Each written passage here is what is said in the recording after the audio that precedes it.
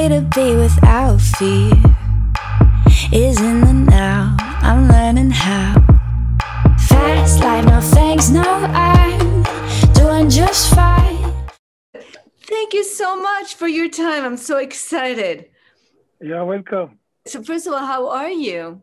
Are I'm you fine, thank you. I'm fine, excellent. Thank you very much. are you busy even in in retirement life? Yes, I'm not really. I'm retired from uh, from a job, but I'm not retired from my passion. Which is A passion cannot get retired. that's right. That's right. So, what is your passion right these days? My passion has been the same for the last 50 years. It's uh, about watches. Mm-hmm. I have a passion for watches. I'm a watch collector. I'm a watch producer. I'm a watch fan. So that's my passion. And my passion was my job. That's right. And how does it manifest itself into into your life these days? I mean, uh, it, it, it goes into my life in full harmony. My life is split between passion and love. Mm-hmm. And that's is- what it should be. The best, yes, it should be right, but unfortunately, not the case for many. And uh, no, that's unfortunate, I must say. That is That's why I'm very privileged. Yes, yes, and I am privileged to be talking to you right now, and then and then picking your brain a little bit, so maybe we can inspire those who haven't found that yet, that balance, and maybe hopefully, you know, they'll get some insight. So I'll just go, go straight into it, and then maybe, maybe we can just Yes, you know, please, yes. how do you stay relevant these days in the sea of sameness? You just have to remember uh, a few thousand years ago, Confucius wrote already that only the dead fish swims in the, in the speed and in the direction of the current. A fish that is alive, he swims left or right of the current or against the current. And if he swims with the current, he goes twice the speed. So dead fish means you just follow the current of the river. That was what Confucius wrote to us, among other uh, other uh, declarations. So it was already the fact. It was already the truth many many years ago, and so uh, today is not different from yesterday. You must always try to be first, different, unique. You must try to be first, different, unique. And if you are first, different, unique, then you will be different. You will be different. You will be first. You will be unique. And uh, that's my philosophy because I wrote Confucius in 1967. And in 1967, I got the message from Confucius, and I said, in my life, I will never be like others. I will always try to be first, different, and unique. And I don't want to be a dead fish. I don't want to swim in the river like a dead fish. I want to be alive. And so nothing has changed because if, if Confucius could tell us this many, many years ago, it, may, it means it was already like this today, and today is not different. It's Right. just that every every generation discovers more or less the same things philosophically. Mm, I could not agree with you, but some people are afraid to be unique, to stand Of out. course, because because people are not educated uh, in order to get uh, um, courage. People are afraid to be different. People are afraid to be wrong. People are afraid of the failures, and that's a, a problem of education. If you educate your kids uh, that a failure is necessary to conquer success, that success can only be reached by a certain number of errors or failures or mistakes, that every mistake brings you further to the success, and that every failure should be forgiven, uh, then you educate your kids in a total other ambiance, and the kids might be, uh, uh, how do you say, uh, might be uh, ready uh, to be entrepreneur because to be entrepreneur means you have to invent, you have to be um, different, you have to innovate, you must have the courage to be wrong, you must be able to accept that you are wrong, you must be able to share your mistakes, you must be able to doubt, you should not be afraid of your doubts. The doubt is, is here to help you. So all this will make the difference. So the difference comes from the education. And education in school, education in the religion, education in the parents, and education in the social life. So it's the whole education system that uh, brings certain kids to success or to not be afraid, while others, which is the majority, unfortunately, will be afraid of being different. I know your kids are very successful and, and they, you always listen to them because they were always on, on top of, of the news. But how did you instill that in them at home as they were growing up? By, by respecting them, by listening to them, uh, by not destroying their hopes or uh, by forgiving them their mistakes, by encouraging them to be different, uh, by congratulating them sometimes for the mistakes, because certain mistakes are necessary in life. And many mistakes, you should do them when you are young, because the older you get, the less mistakes you should do. because a mistake when you are 25, you might have 60 years to correct and to uh, recover. If you do mistakes when you are 70, you don't have many years left to come over the mistake. So I always said to my kids, you have to do mistakes now, as many as possible, because later the mistakes will have another weight. And now it's lightweight. Whatever mistake you do has not a lot of consequences. And, uh, but uh, you will learn a lot. And there is no learning without mistakes but there's uh, also no learning without listening. Mm-hmm. So you you need to listen and uh, and you need um, uh, uh to have courage. Courage and listening um, is essential. Many people don't want to listen anymore. Many young people coming from big universities, they have a lot of convictions, but they have no doubts. And if you have only convictions, how can you learn? The doubt helps you to learn. The doubt helps you to become uh, humble. The doubt helps you to double check.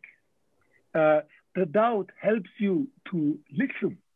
The doubt helps you to learn, to change your mind. And that's uh, uh all this should be uh, transmitted to kids to the education system and uh, of the parents in a very light and smooth and uh, way with a lot of love. But that's what you have to, to teach them. Mm-hmm. So, what do you think about this new way of parenting, which is to always praise them, even if they just for anything and just never, you know, um, give them challenges? Um, you know, loving is great, but then when you also always tell your kid you're the best, the best, the best, they, they don't learn to fail, right? So, what is your opinion about this new way? No, love is not to say to your kids everything is good what they do. Love doesn't mean you should pay them a lot of prize, and uh, uh, no, love means you should educate them. Love means you should um, you should help them uh, to um, get wise in life. Um, love is not saying yes to everything. uh, sometimes it's more difficult to say no than yes. And you should never uh, be weak and say yes because you are weak. You should be strong. And being strong means I say no now. It's enough. So kids, they need a very strict way and they need consistency. You cannot change the what you tell them today and then probably tomorrow you are weaker and you do it differently. Kids need a constant uh, and always in the same direction. That's right. But you know, kids, the best way to educate kids is to be in harmony with yourself. And then the second best is to be in harmony with your couple, with the parents. Mm-hmm. And then the third way is to be in harmony with your with your social environment. And the fourth way is to be in harmony with your job. And if you live in harmony, you can transmit harmony.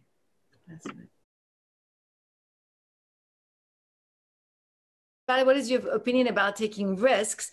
And what age is it okay to take risk, or should someone stop because they're getting older?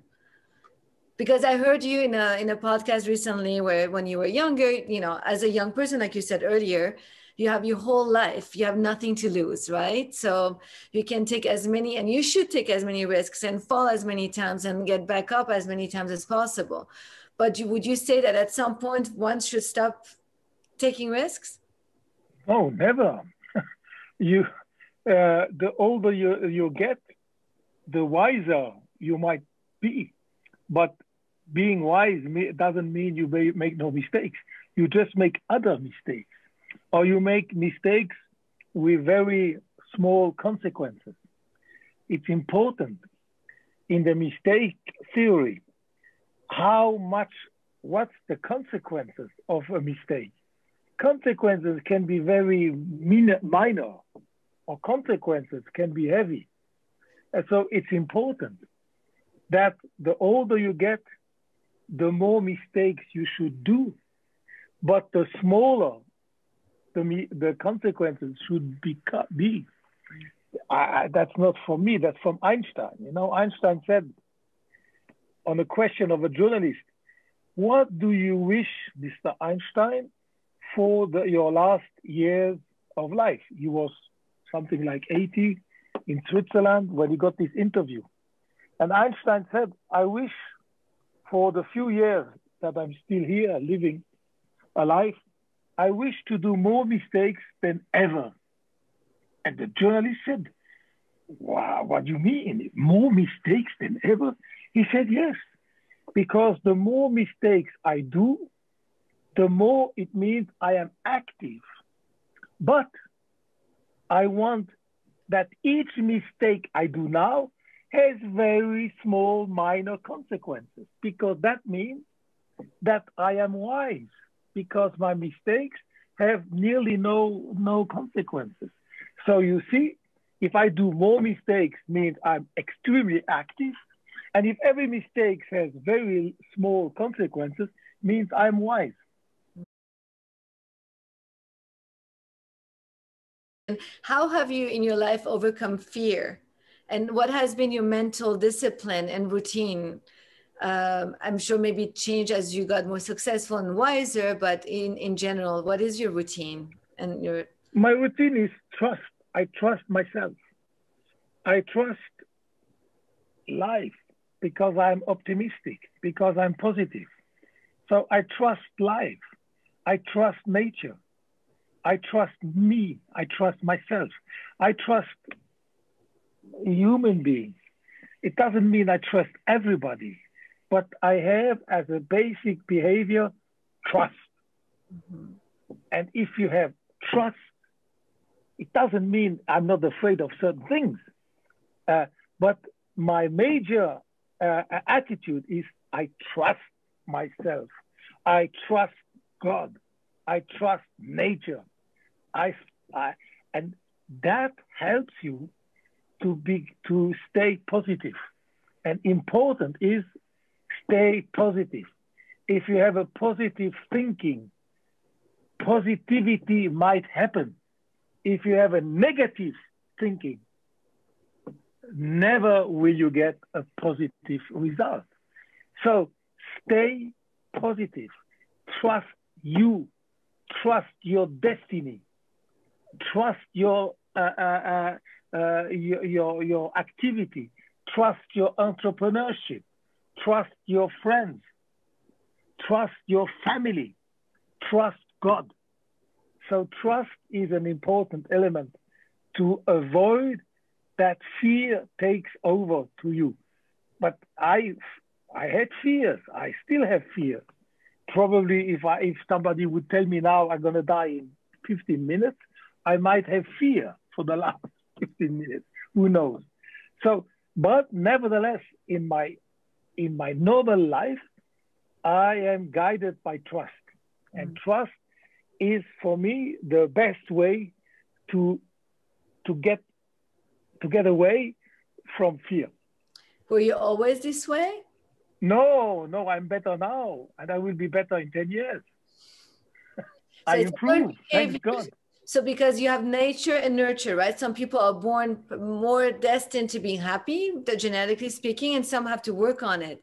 So well, you did something that you had to work on that doesn't come as naturally, or? Of course, I have. I had to work on me. I have to work on my my my philosophy, my my behavior, my my destiny.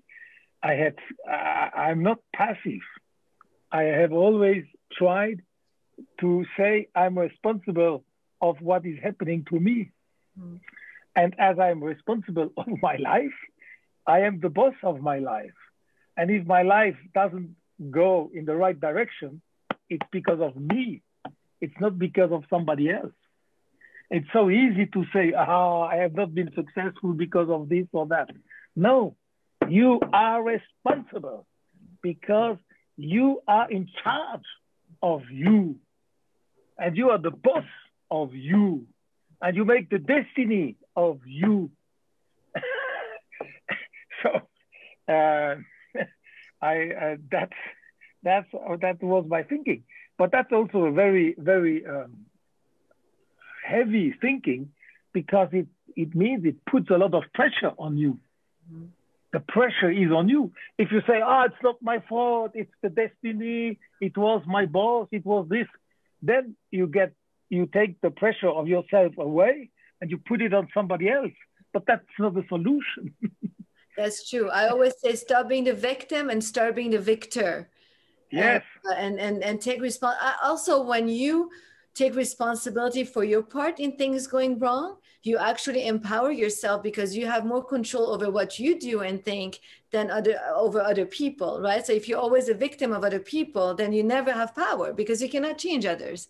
So when you take responsibility, then I think you can take you know make decisions to change and then that you become empowered in in, in that sense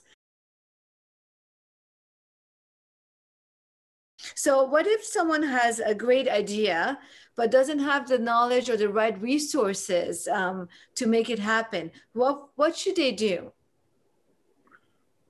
I mean the the idea is as important as the execution. So if you are happy with ideas and you sell ideas or you promote ideas, that's good. But if you are entrepreneur, you must execute. And the execution is, is 50% of the value of the idea. It means uh, without execution, a value, uh, uh, an idea is just a theory. Mm-hmm. So transforming a theory into a reality, that's a big challenge. And therefore, I would never recommend to somebody to go into an execution of an idea in a field that the person doesn't know. Because who are you to try to execute an idea in an environment that is strange and that is new for you. That's impossible. Which means the idea must be must come together with experience. And if you have the experience of an environment, if I have an experience in watchmaking and I have an idea in watchmaking, eventually I can execute the idea. But if I have an idea for a vaccine and I have no, I don't know what means epidemiology and I, I, know, I don't know anything about uh, uh, uh, chemistry, and uh, then my idea might just be a wonderful page of theory. So uh, it's important never forget the execution. And the execution is, is half of the success of the idea. So I'll challenge you a little bit on this. How about your cheese? Because you were not uh, by trade a cheesemaker, right? When you decided to to make this really expensive, amazing cheese. So you had an idea. I had an idea, but you know, I never executed the idea because I never made cheese myself. I had an idea of cheese, and I took uh, uh, the, one of the best young cheesemakers of Switzerland, and I gave him the mandate to develop a cheese with my ideas, which were the ideas of the 17th century, and he made it. I could never have made it. So my idea could never have been executed if I wouldn't have had the idea to take one of the best cheesemaker, and he was able to translate my wishes, my dreams into reality. So there are two parts. If, if, if, if I would have be, if I would have had to make cheese myself, it would have been the biggest failure because I have no idea. Now, after 15 years, I know a little bit, but I'm still, I am nobody who I am, who am I in order to say I know something about cheese? No. And this is also a rule. If you want to employ people, employ only better people than yourself. Because if you employ people that are less good than you, how can they help you? So every time you recruit people, try to recruit people that that are better than you in their field, and then they can help. But many people are afraid to hire better people than themselves mm-hmm. because they are afraid of strong and of strong people. If you're threatened. So my my I said I want to do cheese, but if I want to achieve it, I need one of the best cheesemaker, and I'm gonna take him as a as a partner, and I will uh, employ him uh, all his knowledge, and that's what I did. So at the end, I should be more specific and say it's not my cheese, it's our cheese. It's a combination of one of my ideas and of the execution of the cheesemaker. So either you have to know exactly what you're doing when you have an idea to execute, or you need to surround yourself by people who know that Bravo. specific thing. So you have those two choices. Okay. So when you were working at the, you know, at the office, who were the ones who stood out to you and what like like the underdog would would you pay attention to everybody and then if someone stood out to you what did they do to stand out first of all? And uh, and when what did you do when you noticed them? I always recruited people around myself that were better than me in their field.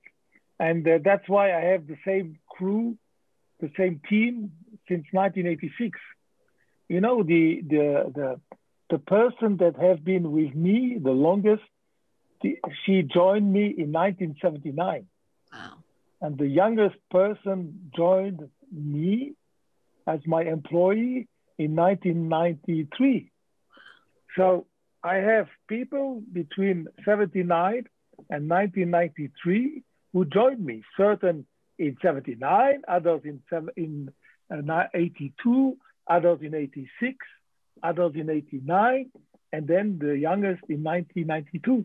And this team has been with me in every adventure, in every business. I took always the same people. Wow. They they passed from one brand and they went to the other one. I never moved alone.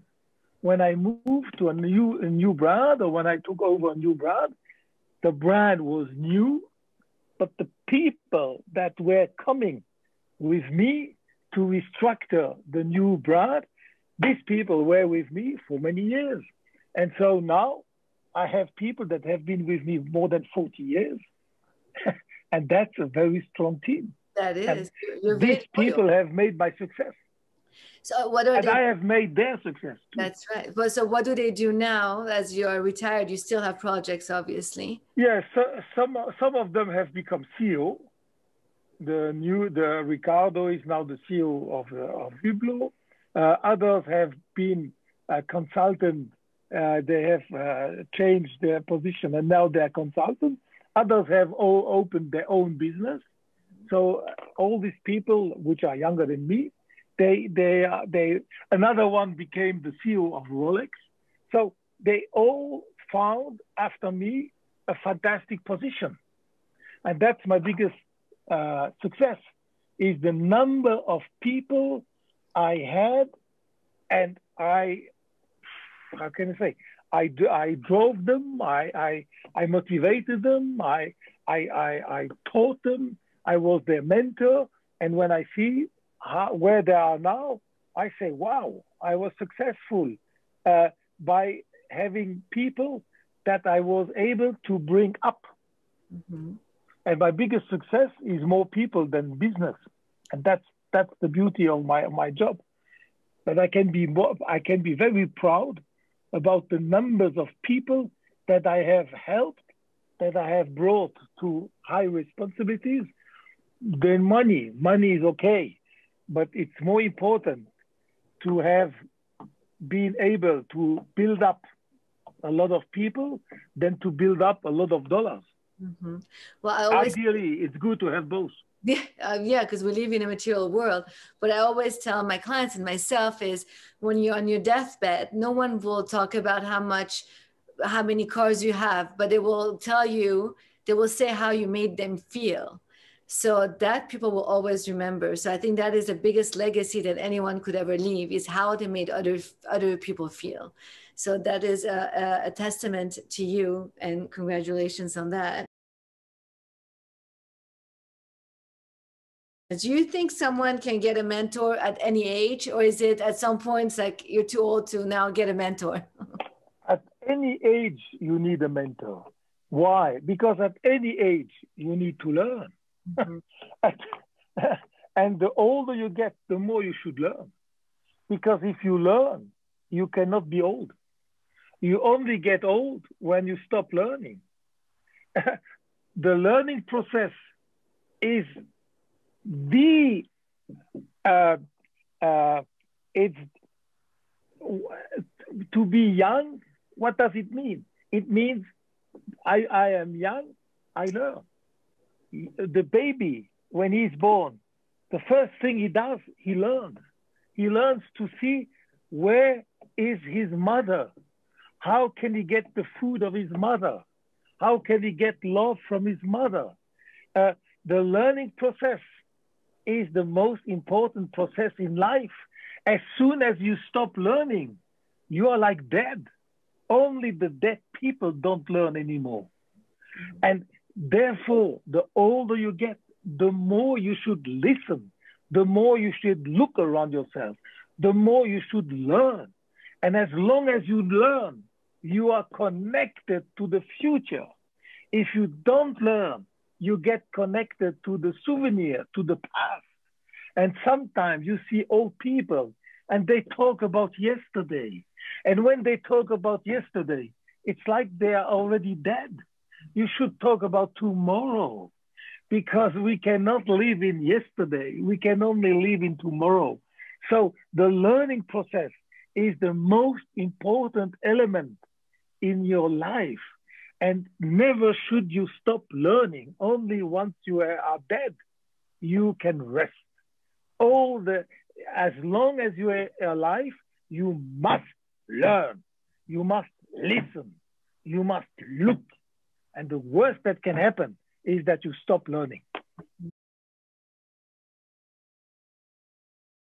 What is your advice for people that are 50 and plus who really who don't want to stop, stop living especially i mean in a world that's a very ageist world uh, especially in switzerland as soon as you have reached a certain age all of a sudden it seems like doors are you know not opening as as easily. So what is your advice to people in general people employing older people or people who are older who want to still be relevant?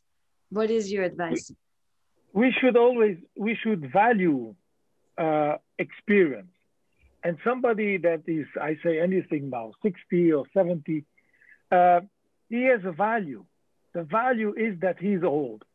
Being old has a lot of disadvantages from the body, from the, uh, from the strength, but that's all, that's only physical. And the physical weakness is not relevant, except if you are an athlete. That's this. So uh, uh, uh we must be conscious that people with experience means people with asset. The experience is an asset. And therefore, we should never lose experience. And in a company, if you fire all the people that are older than 60 or 70, you lose a lot of experience that disappears. So you, but you cannot conquer the future without the experience of the past no tradition, no future. Mm-hmm. you, you cannot. So it means we must learn, like in Asia or in Japan, that all people should be respected and all people should be cheered because of their knowledge. And we should take all the knowledge from all people in order that this knowledge doesn't disappear once they die. So that is something we have to learn from the Japanese mentality, where the older you get, the more respect the society pays you, the more uh, the more uh, you, you have value once you get older. In many countries around Europe, old means bad, old means past, old means retirement. Okay, physically, yes, but not here and not in your heart. As we live in a challenging world right now, where one world of maybe you know a positive note on people who are who have become a little bit bitter or tired of what the situation. Where do you think it's going? What is what is the opportunity behind this this you know a pandemic? What is the that what is the upside of it that people should focus on rather than the downside of it? You know in a crisis there are always opportunities. A crisis is a mixture of threat and opportunities. Of course in a crisis the percentage of threats is probably 80 or 90 percent but you have 10 or 20 percent which are opportunities. And once one should concentrate on those 10 or 20%, which are the opportunities that the crisis brings with you. But most of the people are concentrating on the 80% of the crisis, which are the threat, which is the, uh, um, and, and you see it in the newspapers, you see it in the political, uh, the, um, uh, in the political um, speeches, yeah. we always put 80% it's, ah, eh, the pandemic is like this, and then there is a variant coming from South Africa, which is more dangerous, blah, blah, blah, blah. Nobody tries to concentrate on the 10 or 20% that the crisis has positive elements. And the crisis must somehow become your friend and not your enemy. If the Christ is your enemy, you have lost already. You cannot win against the Christ. You can only take some opportunities in the Christ. Opportunities, for instance, some of your competitors are having difficulties, or some other uh, CEOs uh, are in panic and they sell shops or they reduce costs. And then you see this and you say, hey, we have an opportunity here. Let's try to take advantage of the panic of others. Let's take advantage that everybody is afraid. Let's take advantage that they want to save money. Let's spend now. And they, so we must concentrate on the 10 or 20% positivity that are in the Christ.